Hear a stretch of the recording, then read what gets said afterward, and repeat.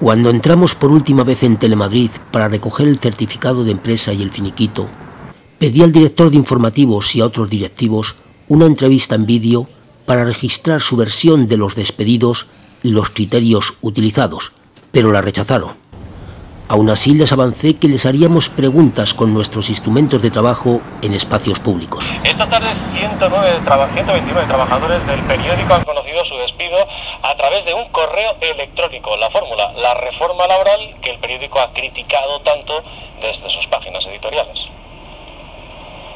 129 periodistas del diario El País han conocido esta tarde a través de un correo electrónico que sus días en el periódico se habían terminado. Veteranas firmas como la de José Yoldi, Antonio Fraguas, Miguel Ángel Villena o Ramón Lobo, que esta tarde ironizaba en su Twitter, mi trayectoria en esta empresa parece no ha sido suficiente. Pero para ironías, la del mítico Antonio Fraguas Forges, también en esta lista de despidos, y que hoy quizás como un presagio de lo que venía, deja en blanco el bocadillo de su viñeta, rellene las líneas a su aire, dice. Hace unos días en forma de dibujo este grito de auxilio. Una redacción que saltó como un resorte cuando Juan Luis Cebrián, consejero delegado de Prisa, anunció apelando a supuestas pérdidas económicas un ERE que iba a afectar a un tercio de la plantilla. Cebrián, del que los trabajadores dicen, cobró el pasado año 13 millones de euros y que sobre su redacción dijo no podemos seguir viviendo tan bien. Hoy Twitter ha canalizado un torrente de indignación por estos despidos y la fórmula elegida, la actual reforma laboral que desde estos editoriales tanto se criticó. Buenos días. Por aquí, por aquí. director informativo de Telemadrid.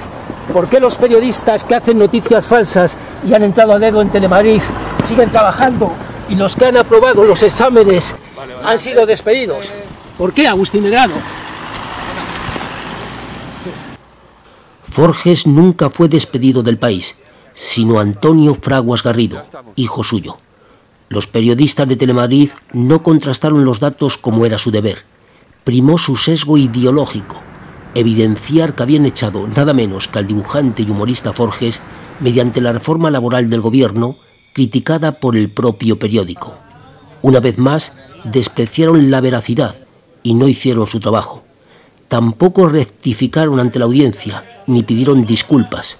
Los dos, presentador y redactora, que entraron a dedo, siguen trabajando en la empresa que los considera, según los burofas enviados a los periodistas despedidos, más efectivos y con mayor calidad.